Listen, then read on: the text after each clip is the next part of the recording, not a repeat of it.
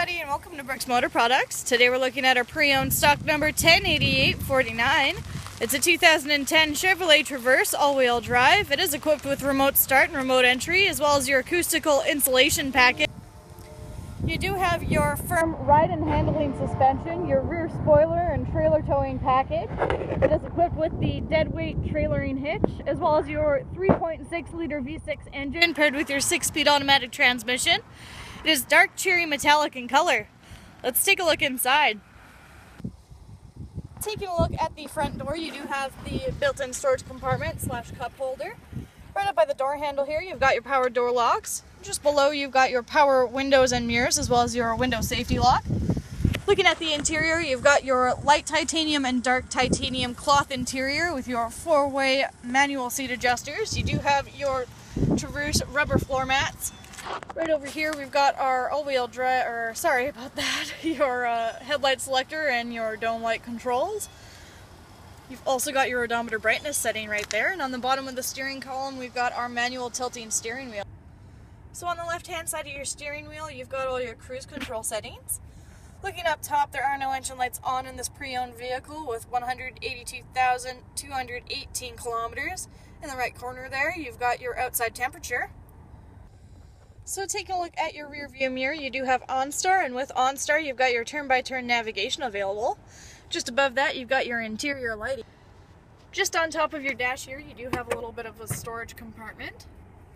Just below that you've got your uh, radio, you do have your CD player, you've got your MP3 player, you've got six radio presets, you do have AM FM radio, Sirius XM capabilities. You've got the single slot CD player and your auxiliary input just right there. Just below that, you've got your hazard light button. You do have your climate control with AC. Just below that, you've got your rear window wiper controls, your traction control and trailering capabilities, a 12 volt charge port right there, and some storage. The center consoles in here slide backwards. There's this very nice, really deep one right here. And you've also got more storage just inside this one. Looking over on the passenger side, you do have the locking glove box. Inside you'll be able to find your vehicle owner's manual. Taking a look at the rear door again, you've got two built-in cup holders, you've got the storage compartment. Taking a look at the back of the front seats, you've got that storage pocket as usual. You do have your rear climate control. You've also got a 12 volt charge port in the back here. If you put down this center section in the back seat, you create an armrest with two cup holders. You've also got a little bit of storage inside as well. This is the 60-40 split bench seat, so you do have eight passenger seating available. You can slide it back and forth with this lever. You can recline it with this tab, or if you want direct access to your third row seat, you just pull this forward and it will all collapse. So that's what it looks like all folded up for the second row seating.